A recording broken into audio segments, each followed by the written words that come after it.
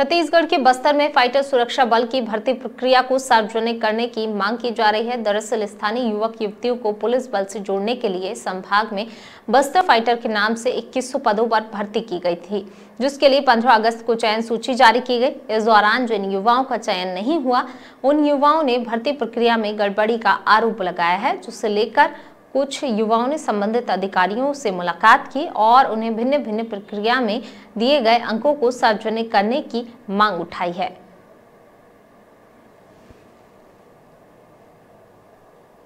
बस्तर में बस्तर फाइटर के नाम से जो भर्ती प्रक्रिया आरंभ की गई थी, जिससे नक्सल मोर्चे में नक्सल समस्या में लड़ने के लिए युवाओं को तैयार किया जा रहा था, जिसमें बस्तर संभाग के संतावन हज़ार युवाओं ने फॉर्म भरा, जिसमें से 2100 लोगों को फाइनल चयन किया गया है। बाकी के जो अभ्यर्थी हैं, उनका आरोप है कि इस चयन प्रक्रिया में काफ़ी बड़े पैमाने पर गड़बड़ी की गई है। मैं अपनी मांग को लेकर पहुँचा था कि जिन्होंने हमने, हम सबने फ़िज़िकल और रिटर्न अच्छे से क्लियर किया था।